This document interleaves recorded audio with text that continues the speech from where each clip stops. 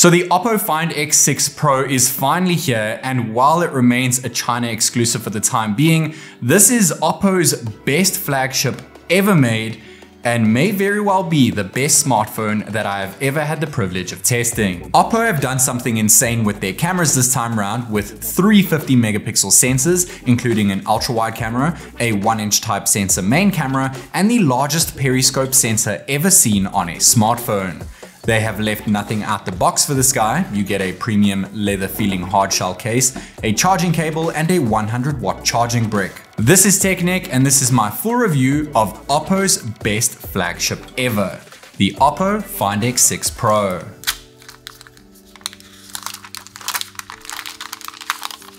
As mentioned at the start, it's still uncertain whether or not the Find X6 Pro will make its way to the international markets, but it literally just got announced in China, so we'll have to wait and see what happens. I received the phone quite early on, so I'm not quite sure on pricing yet, but make sure you check the comment section down below as I'll post the Chinese prices over there.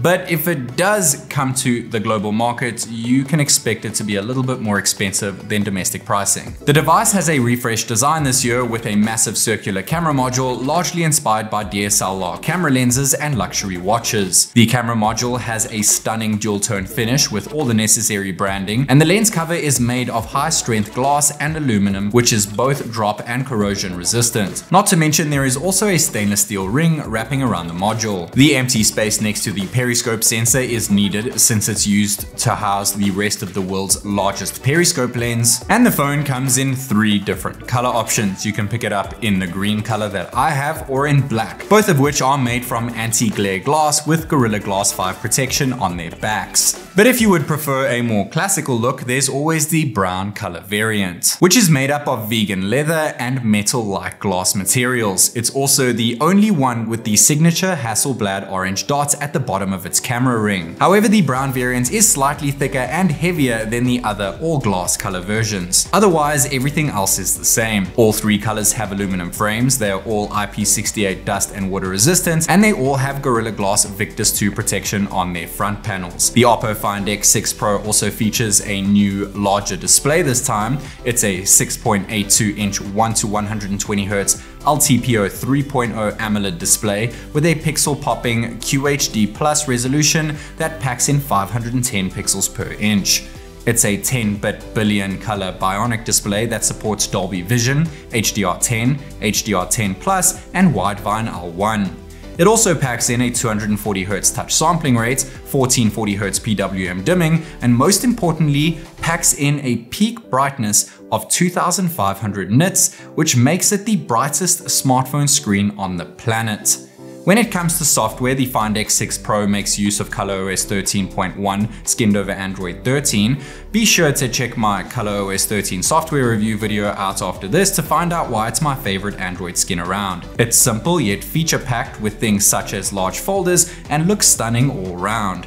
Oppo have also promised 4 years of major Android software updates and 5 years of security updates, which isn't something you usually see from an Oppo device, so this is awesome to hear. And to keep things running is a large 5000 mAh battery, which is optimized by Oppo's battery health engine for 1600 charge and discharge cycles, which means that the battery will still have 80% battery health after 4 years of use. Oppo have also increased wide charging speeds this year, bringing it up up to 100 watts, which can apparently fill up its large battery in just 30 minutes. Not to mention we still have 50 watt wireless charging, which can get your phone to 100% in just 51 minutes. The Find X6 Pro also features a newly redesigned cooling system with a 24% larger vapor chamber over its predecessor, as well as a new generation graphite material to improve heat dissipation efficiency by 84%. This cooling system keeps things at bay when running running demanding apps or benchmarks, so it's no surprise to see the Find X6 Pro top the charts in Antutu, as well as receive heavy hitting scores in other benchmarks since it houses Qualcomm's latest 4nm TSMC powered Snapdragon 8 Gen 2 chipset. Up to 16 gigs of LPDDR5X RAM with an option for additional 8 gigs of RAM expansion and up to 512 gigs of UFS 4.0 storage. You would think with all these specs, the Find X6 Pro would be able to play games at 120Hz refresh rates, but unfortunately in some games, such as Real Racing 3, the device caps the frame rate to 60 FPS, even though it's more than capable of reaching such high frame rates. The good news is that when playing Call of Duty Mobile, it can achieve a stable frame rate of 90 FPS, which other devices seem to cap at 60. And when playing more demanding games such as Genshin Impact, you'll be happy to hear that we got a stable 60 FPS thanks to the Hyper Boost gaming engine and ultra steady frames feature. It's worth mentioning that this game is capped at 60 FPS on all devices, regardless of the screen refresh rate. This Oppo flagship also takes advantage of Bluetooth 5.3, NFC, 5G, and Wi-Fi 7 to ensure you're always connected to the world. Not to mention it also packs in a USB 3.1 Type-C port, an IR blaster, an X-axis linear motor, and O haptics for an immersive flagship level haptic feedback experience, as well as dual stereo speakers, one at the bottom, one at the top, which both support Dolby Atmos.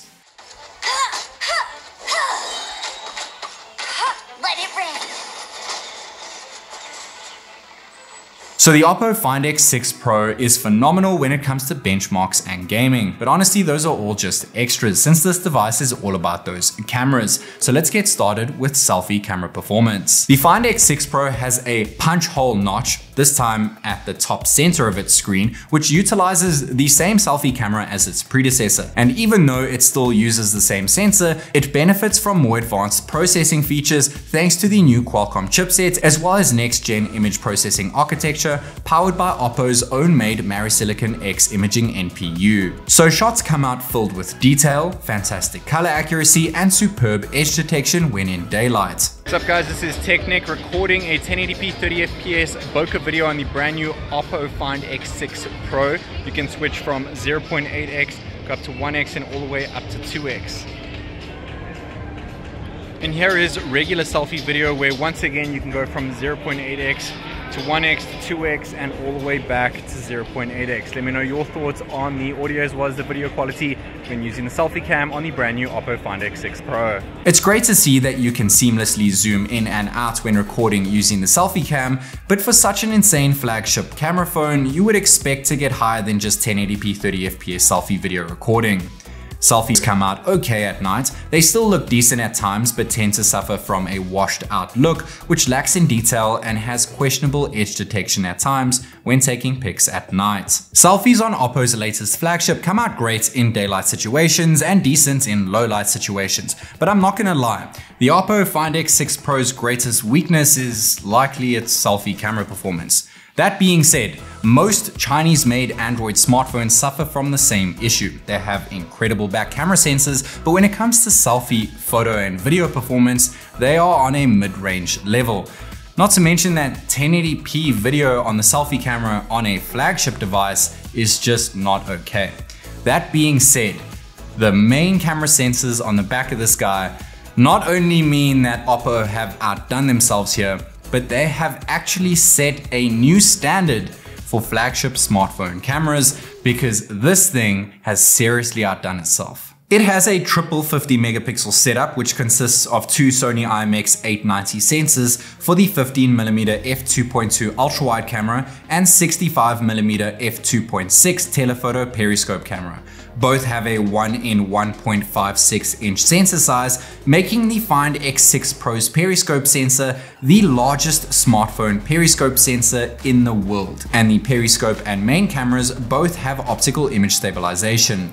The main sensor has an equivalent focal length of 23 millimeters. It has an aperture of f1.8 and is a massive 1 inch type sensor thanks to it being the Sony IMX 989 sensor. Oppo has explained this triple camera system as the three main camera era, since all three sensors benefit from the Hasselblad partnership, MariSilicon X imaging NPU, and Snapdragon 8 Gen 2 CPU, which allows them to all deliver the same level of image clarity, light and shadow handling, and color accuracy. The Oppo Find X6 Pro takes incredible shots with its ultra-wide camera, whether being in macro mode, high-res 50 megapixel mode, or binned 12.5 megapixel mode.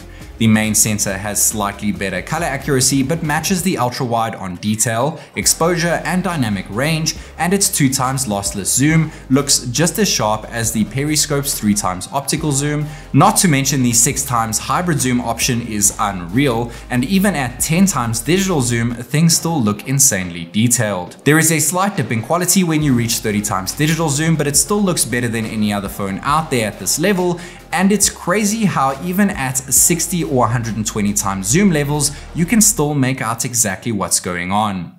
Using the periscope with a 25mm focusing distance, DSLR quality kicks in and of course we still have Hasselblad X-Pan modes which make for some fun snaps.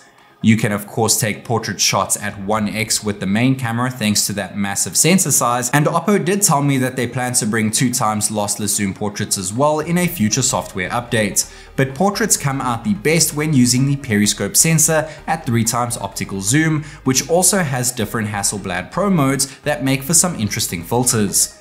There is also an option for portrait video when using the periscope camera at 3 times zoom, but it's capped at 1080p 30fps and you can also shoot the same 1080p portrait video using the main camera. You can also use the main camera to record 10-bit HDR 4K 30fps Dolby Vision video, not to mention you can seamlessly switch between all three cameras when recording continuous 4K 30fps video from the ultra wide to the main to the periscope all the way up to 18 times digital zoom. You can also record ultra wide video at a max resolution and frame rate of 4K 60 FPS. It looks fantastic and is very stable, but if you want to go all out stable, there is also an ultra steady pro mode which is insane even when running.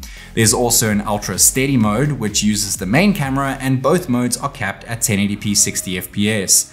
And of course, you can also use the main camera to record 4K 60fps video, but unfortunately there is no option for 8K video. I was surprised not to see a 4K night video mode option, but recording 4K 30fps main video or ultra wide video at night still looks amazing. But there is a night mode option for photos which span from ultra wide all the way up to 120 times zoom, and they all look just as good as when I took the same shots during the day.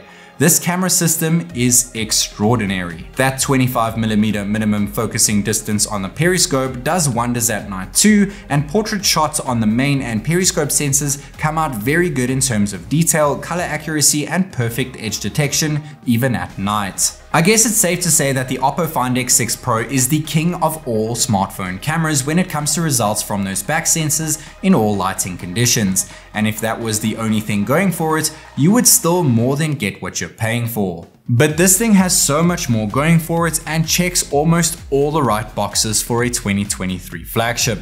I just really hope that it makes its way to the global markets so that you can test out this incredible piece of tech.